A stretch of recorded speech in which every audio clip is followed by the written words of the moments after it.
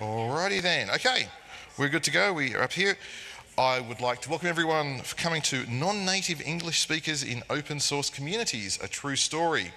This is presented by three HPE employees. We have Masayuki in the middle, uh, Dong on the right, and Samuel on the left. Yes. All HPE, over to you. Yep, so yep. this microphone is now on. Um, hola, ni hao, konnichiwa, or just hello in English. Um, this talks about how it is to be a non-native English speaker in open source communities where English is the official language. So there are some challenges in there, and we are going to share our, our perspectives. Our talk is named Non-Native English Speakers in Open Source Communities, a True Story. And just to start, we are going to give a brief introduction of um, ourselves and share a little bit of our backgrounds. Hi. So uh, my name is Masayuki, and uh, I'm working for, uh, so all of members are working for OpenStack things, and I'm now OpenStack core reviewer of uh, OpenStack QA, uh, especially uh, Tempest. Tempest is the integration test for OpenStack clouds, and now, so I'm working at uh, HPE, as we said, and uh, I'm uh, working at the Tokyo office, and uh, of course I'm uh, Japanese, so uh, I'm very excited. I this is actually second time to attend LCA, so but this is first time to speak at LCA. I'm very happy. Thank you. Hello, everyone. Uh, I'm Dong Ma.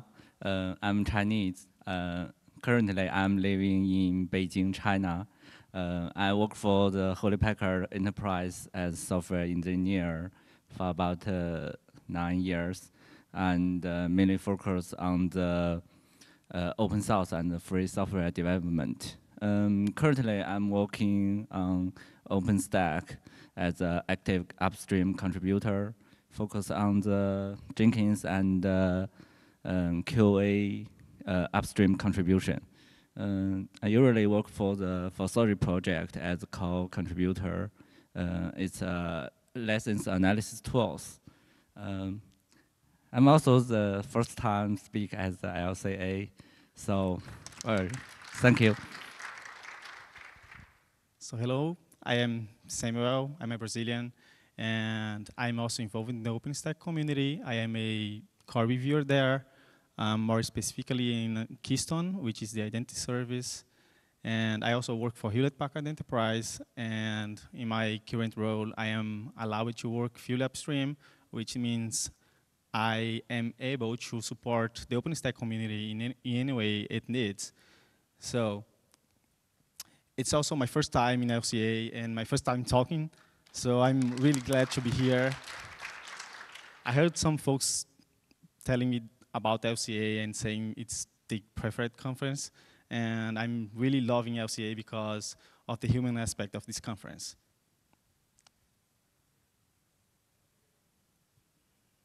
So what does this talk about?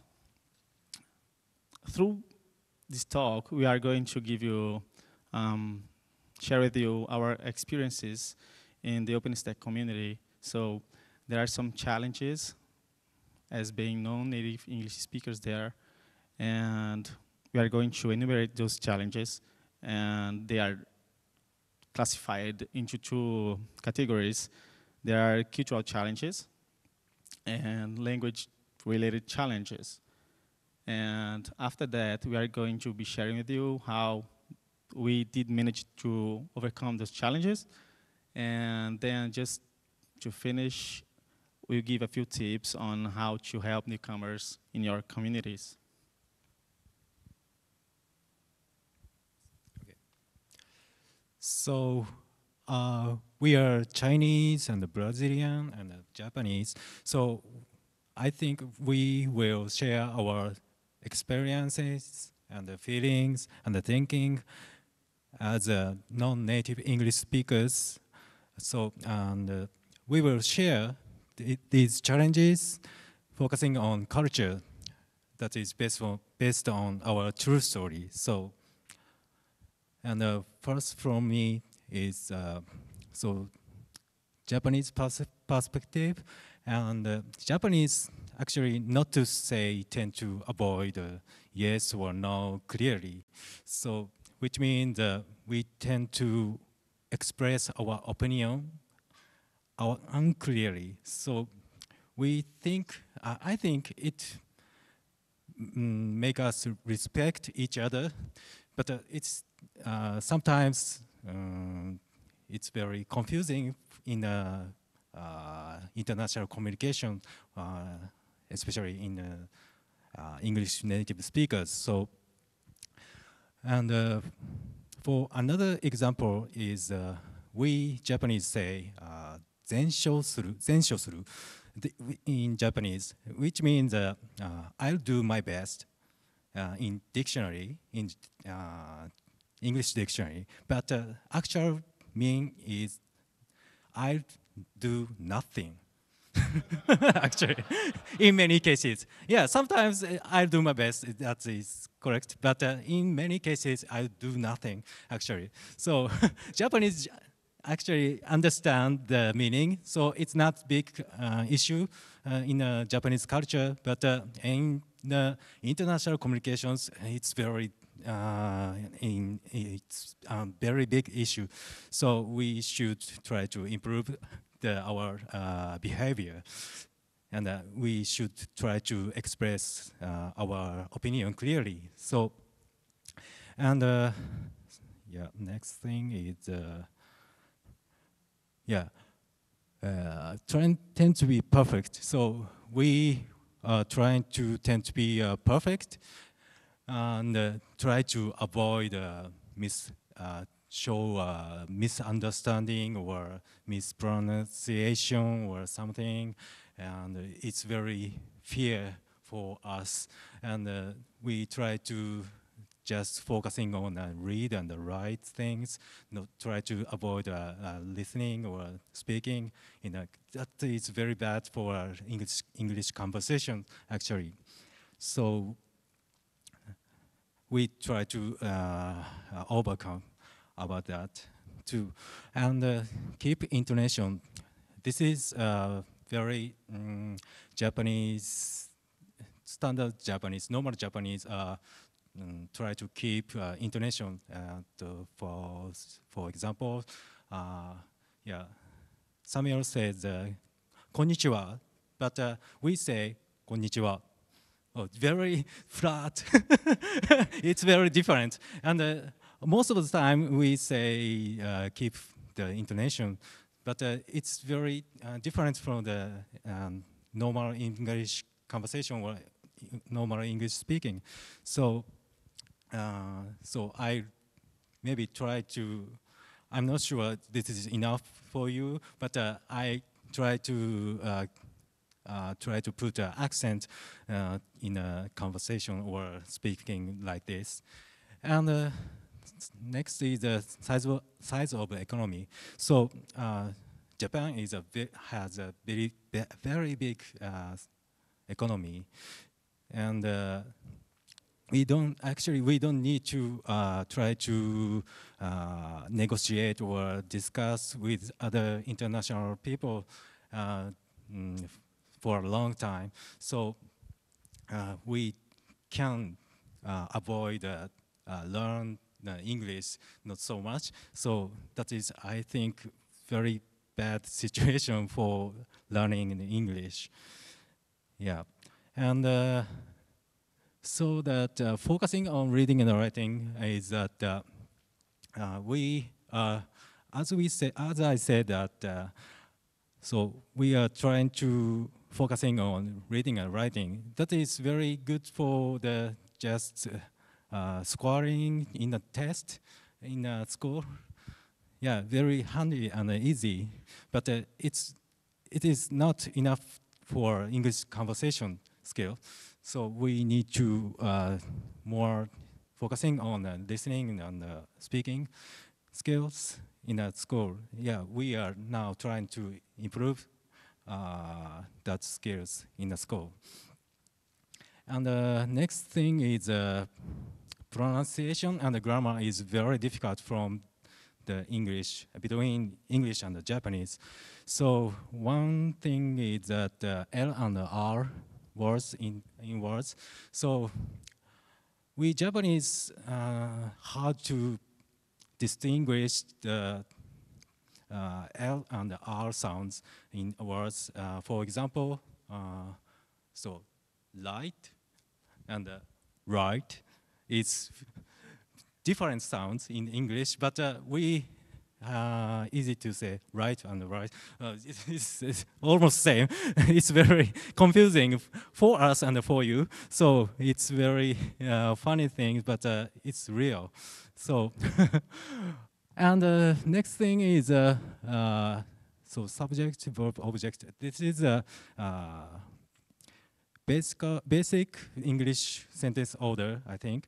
But in Japanese, subject object verb is a normal uh, sentence order. So we, uh, I really sometimes confusing about that. So in uh, English, we say uh, uh, I love you, but uh, in Japanese, 私はあなたを愛しています。私 is I, あなた is you, 愛しています is love. So it's very confusing for us actually. And uh, last thing for me is uh, katakana. Katakana is uh, one of the uh, Japanese characters. Uh, Japanese has uh, mainly three characters. One is kanji, and the second is hiragana, and the third is katakana. So ka katakana is used for imported words like so network or file or comment.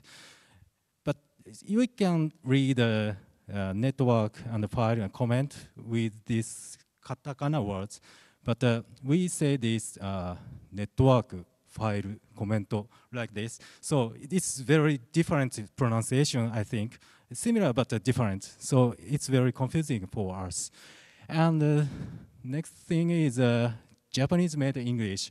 And so there are some words, uh, this is just examples, and one is pasokon, aircon, and uh, autobike. Uh, so this is uh, this means a personal computer and the air conditioner and the autobike is very different. This means a motorbike, actually. but uh, we use this and uh, we sometimes this is uh, English words, but uh, it's not English words very bad, uh, it's not correct English. So we are very confusing like this. Okay, next is Dong. Okay, uh, I will give a quick uh, introduce from the Chinese perspective. Uh, I think um, Chinese culture have some uh, similar with the Japanese but there is a traditional culture called the Confucian culture. It's created by this man called Confucius. Um, I think uh, this culture is uh, created um, at the uh, Xia Shangzhou dynasties uh, about uh, 2,000 years from here, from now. Uh, so this culture is very um, influenced in our thought and our behavior. Um, one of the core uh, Confucian texts uh, in this culture is called the Doctrine of the Mean.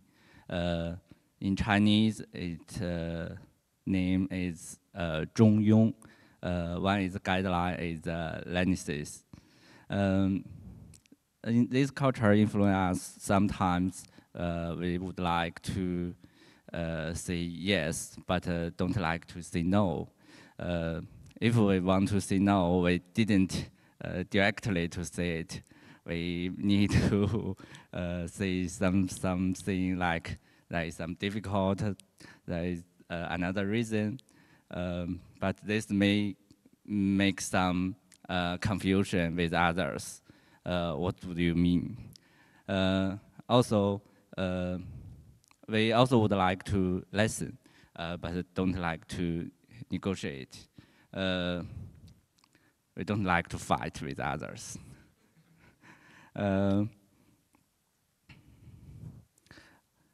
also, in Chinese, uh, there is also some issues uh, uh, in pronunciation and the grammar um, to hard understand.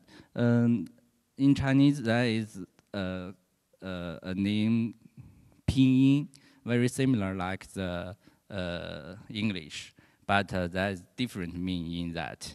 So uh, our pronunciation will get some Chinese style. So it's sometimes it's hard to understand. Uh, also, we have the, uh, I give a, a, small example for the grammar. Uh, in English, we will meet each other to say hi, hello, how are you? but in Chinese, sometimes we also say 你吃了吗? Uh, which that mean, do you eat?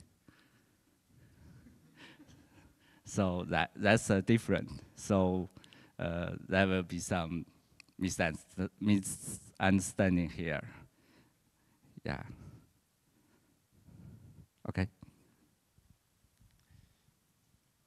So, from my perspective, from the Brazilian perspective, I find that discussions are driven in a very similar way. There is not a um, big cultural gap, big cultural difference as there is for my colleagues. However, um, some folks sometimes just give very short or direct response, which may sound a little bit rude sometimes, even if that's not what they want to, to, to, to mean. And there, there are also some curiosities about Portuguese and English. For example, the E in English is exactly the same as I in Portuguese. So when I'm spelling some words, I get confused. And when someone is spelling a word to me and I'm trying to write that down, sometimes I get confused as well. That happened to me this week. And for the grammar, the adjectives in Portuguese are put after the object, which is exactly the opposite than in English. Because in English we say, for example, the blue house, and that in Portuguese would be the house blue, which is just the opposite. Um, in addition, there are some phonemes that do not exist at all in Portuguese, like the TH sound. And some Brazilians try to um, replace that with the F sound, and that gets very wrong. For example, um, some people would try to say thing as thing, which is very different. And I think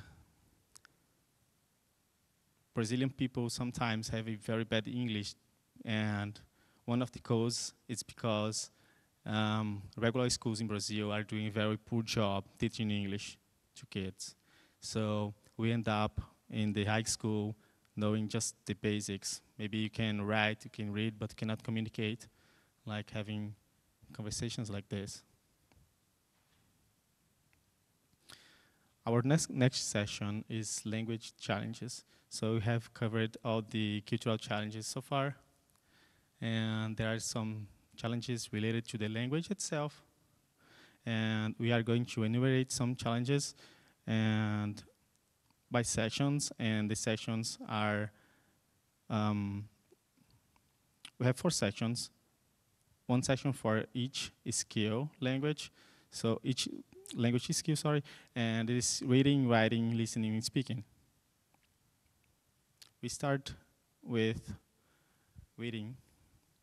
Okay, so I think uh, the reading is uh, the easiest in most cases, but uh, it's very important because uh, most of the technical documents are written in English. So, and uh, most of the conversation in uh, open source communities, uh, of course, in English, uh, like emails or IRC. Yeah, so reading skills is very important for us. But luckily, if you have, uh, uh, sorry, you have the opportunity to uh, confirm with a dictionary or using a dictionary if you cannot get the meaning or something.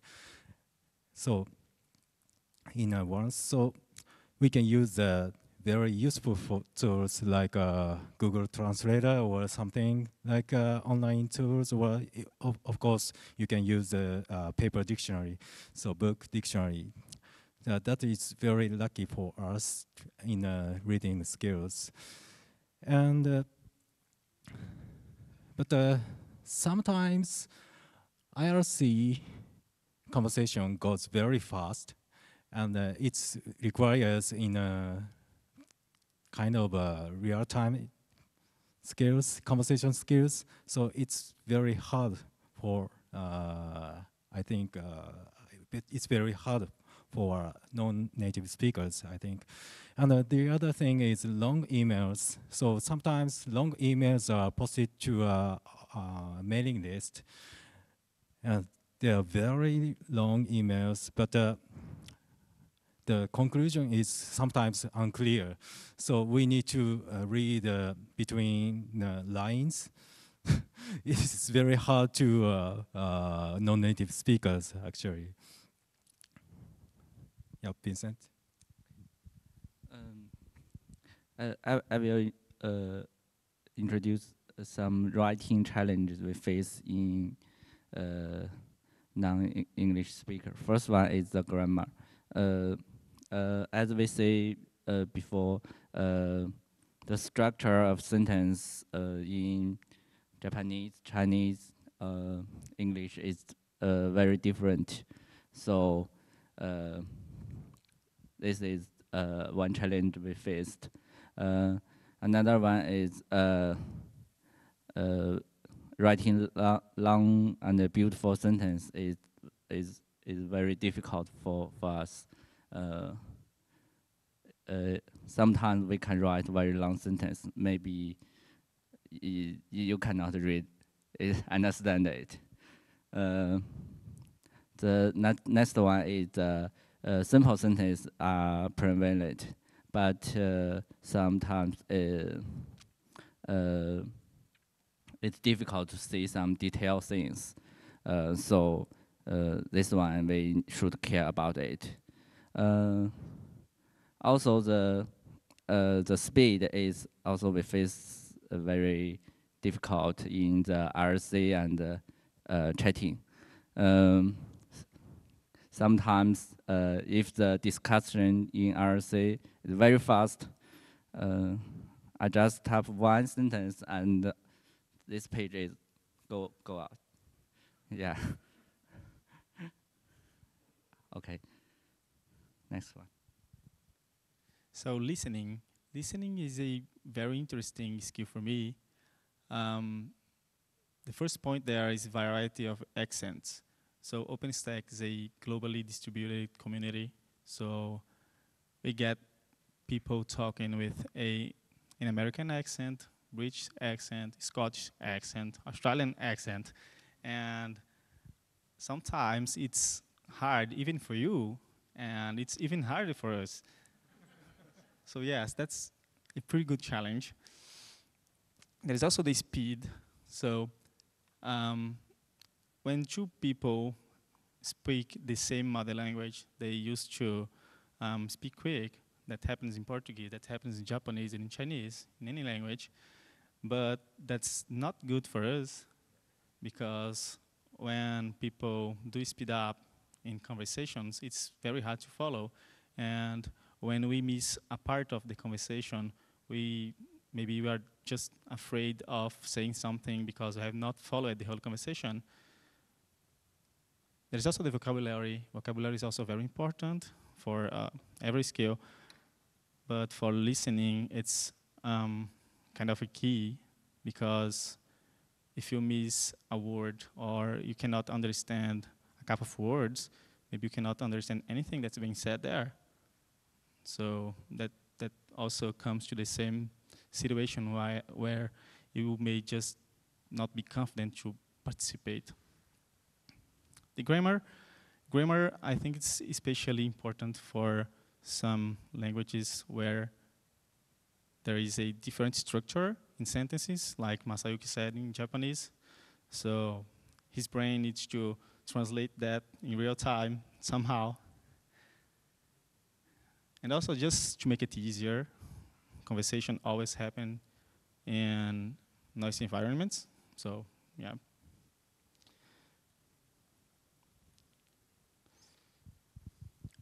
So the last uh, skill is uh, speaking. So speaking is the, I think, most difficult things in uh, for skill. So, but uh, I think mm, it's basically output skill. Output something skill is uh, difficult, more difficult than uh, uh, input something skill. Uh, especially it requires uh, so speaking is requires uh, real-time skill, real-time conversation skill. So it's very difficult for us.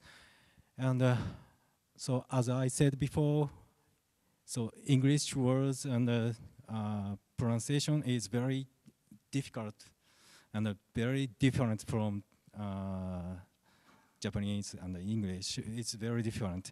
So uh, it's very difficult for us too. And uh, so pronunciation and the speed and the flu fluency is uh, uh, so like this. yeah. So slow and not fluent speaking is sometimes boring to uh, non-native speakers. I think. So this is, uh, I think this is a, one of the issue for uh, non-native speakers in uh, speak, I think. So, like this, we have a lot of challenges, we said, and uh, uh, we are, but uh, we are overcoming like these obstacles. Not all, but some of obstacles we are overcoming now. So we would like to share the tips or something if you you wanted to know about that. Vincent? Yes, uh, we have some tips uh, to overcome the obstacles. Um, first one is um, the culture uh, um, difference uh, is harder uh, than the language challenges. Uh, I think the cultural difference need to be respected uh, we, we just need to improve is the English skills. Uh, another one is uh, we should uh, be in contact with the language uh, as much as you can. Uh, um, you don't. Uh, you you should forget your limitations and practice more and more and do your best you will eventually improve. Um, for the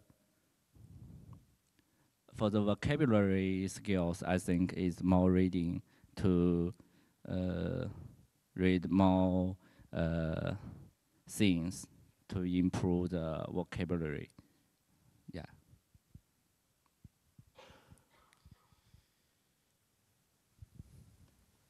We have a couple of more tips here. So communicate daily. So someone who is really willing to improve, to brush up your skills in any language. I think um, language immersion, as he just said, is very important. So just create the habit to communicate daily. Maybe um, talking to a friend or just writing, reading. That's very important. And there are a lot of useful tools out there. For example, for reading, you can gather vocabulary, vocabulary reading, and there are dictionaries you can use. There are um, translators and everything. So there are also some apps that help learning new languages, like Duolingo. And I think that I think it's very important to practice with yourself and with others. When I was first lear learning English and French, I did that a lot. I talked to myself, and people around me thought I was crazy, but that's very useful because one thing is you being able to form the sentences and your arguments in your head, and another thing is putting that out. And also having one-to-one conversations helps a lot because talking to another person, just a single person, is much easier than talking to a group and to an audience. So just pick up some friends and set up some um, hangouts, like once a week, every two weeks, and that helps a lot. So our last session is about onboarding newcomers, and we are going to share a few actions that can be taken from both newcomers and some veterans in the community, people who does speak English as a native language, so that the process of onboarding newcomers is going to be easier. So hopefully you may use some of our um, experience in your community. So, uh, for newcomers, yeah, for newcomers, but uh, I think this is useful for all newcomers. I mean, not only uh, non-native speakers, but also uh, native speakers, like these uh, tips. So first one is be friendly. So be open your mind so most of the people, uh, especially uh, open source communities people, are very open people, should be have that. So, uh, so you can find a lot of friends in uh, open source communities if you open your mind and uh, be friendly. And uh, if you open and make a friends, you can get like a mentor or something, friends that is one of the uh, good exercise, English exercise to communicate with uh, uh, other, other native or non-native speakers in English, and find a mentor. And uh, so mentors uh, can uh, provide or gives you uh, some advice, uh, not only technical things, or, but also communication skills. So it is very good for your uh, uh, communication skills. It's very important. And uh, share your opinions. So uh, if you don't uh, say or speaking your opinion to the others, uh, nobody don't know your opinions. So please share your opinion. That is a very good exercise for English speaking, English conversations and prepare in advance. So like these sessions, uh, we are now uh, we are we were very uh, had a very much uh, practice. I'm not sure this is very enough. So, but uh, we are do that, did that. So, and, uh, so preparation is preferable it's if you not do not uh, prepare prepare the conversation, it's um, might be a bad conversation or communication in that situation. That so ask questions is this is similar to uh, share your opinion, but it may be uh, easier than that. I think you don't need to um, make a very great, special, fantastic questions. I think one example is uh, uh, like this. Uh, uh, so I don't understand the slide number two, so please uh, give me more details or please say uh, say that again. Yeah, it's very good question. I think if you wanted to know that, yeah, that's a very good example. I think and the brush up your English skill is, yeah. I need more. uh, so we need more uh, English skills. Yeah, we are. We should care about the culture, but uh, we should improve our English skills. That uh, leads. Uh, uh, that makes the very good communication to each others. Vincent? Um, the last, we have some uh, uh, tips for the native speakers. Uh, yeah, first one is uh, um, be be patient. Um, so uh, each of the non-English speakers may have the different level uh, of English skills. So sometimes you will be feel frust frustrated frustration uh, on conversation with with them uh, uh, due to the pronunciation, grammar issues. Um, so please be patient. the next tip is to please to speak slowly as you can, Is especially in the group discussions. Um, the very speed up discussions uh, might be uh, hard to understanding sometimes. Uh, the, the, next one is to use the simple words and the simple sentence. Um, uh, use the simple word and sentence uh, as you can. You can uh, avoid some misunderstanding. Um, the fourth one is to encourage uh, communication. I think this will make them very comfortable uh, to participate in the communication. Um, the last one is uh, don't do not make fun uh, of the non-native speaker. I think this may be terrible for them. yeah, that's all the tips. Yeah. So before we go to Q&A, I do have questions for you. Um, how many of you are non-native English speakers here? Yes, I've got. Yeah, yeah, non-native. Okay. yeah, got a feel. okay, and how many of you who are English speakers, like native speakers, have ever thought about this? Okay, that's great. Thank you. so does anybody have questions?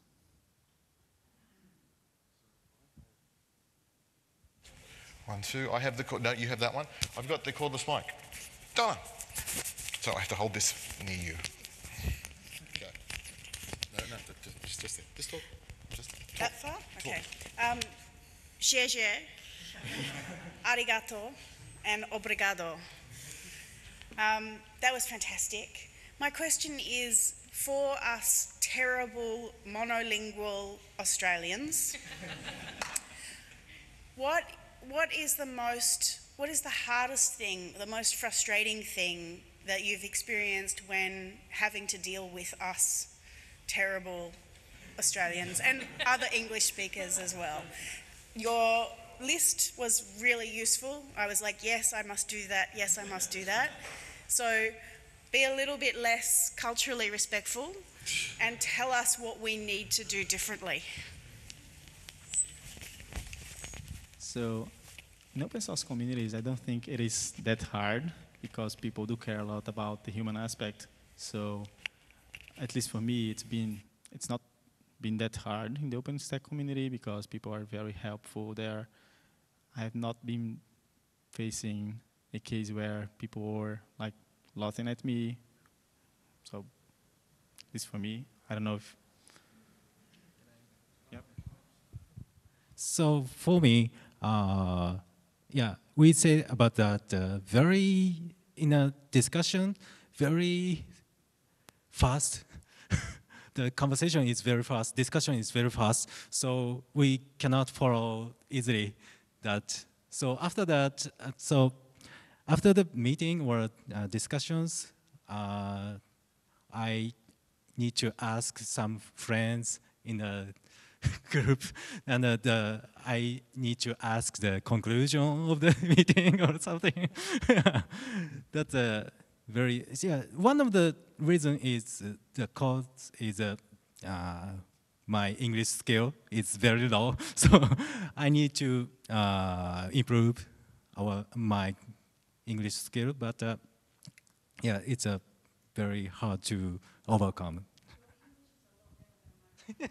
Donna, Donna just said that her, that's exactly right. Donna's saying that her English is much better than your Japanese. I'm standing in front of the microphone. Sorry. Uh, and that's, yeah, and that's exactly right. I, I, deal with open source just all the time, and it's terrible. I can't put, put rubbish on them until my, my Japanese is better than his, his English. Sorry. So just speaking to, like, just talk. Okay, uh, it's not quite of a question, it's more of a comment because I'm really passionate about that. Uh, when I arrived at Australia four, five years ago, I used to hear the worst thing that happened to me was that people were making fun of my accent. They were mimicking how I was sounding, things like that. And at the beginning, I did not realize how upset I was. I was just, you know, laughing because you don't really want to say anything. And then someone said exactly what you said. You know what? You don't, uh, I start saying, oh, you can't understand my English. We can switch to Portuguese. If your Portuguese is better than my English, we switch and it's all good. And, exactly right. and, and with years, that, that they eventually got, you know, people stop saying that. But other thing that happens is that I think no, uh, native speakers do not realize the cognitive effort that we have to do to speak another language. So we are always kind of on the first two years, I was, I, I felt like I was so much dumber in English. Like I couldn't make an argument. We've, we're running a bit short on time, so I've got, is, any, any other questions? No. No, that's all right. We've got one at the back up here.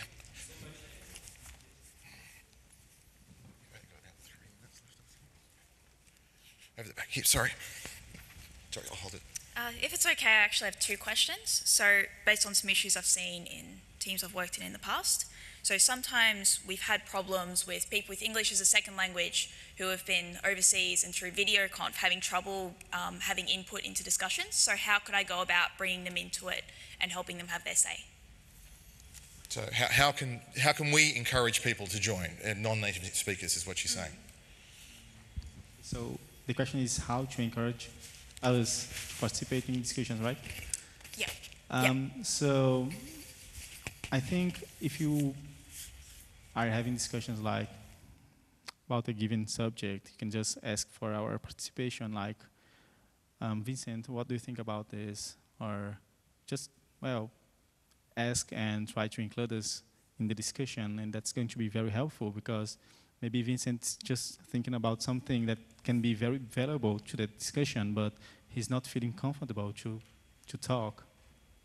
Okay, second question.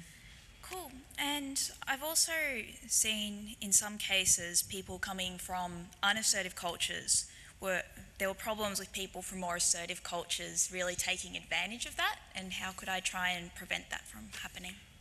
So how can we stop assertive cultures like uh, Australians? Yes, Australians, that's we're exactly incredibly assertive. yes. We, so how can how can we tone ourselves down? I think is a you know, that's a good. good and how can I get other Australians to tone themselves well, down and not take you advantage? Can't, we've asked. How can I try and maybe help a little bit so they don't walk all over? Do you, do you guys have any suggestions? Uh, uh, I, I have one, one tips is um, for the uh, encourage is uh, actually, for, for, for, for, for me, uh, for some discussions, uh, I would like to join, to, to, to participate.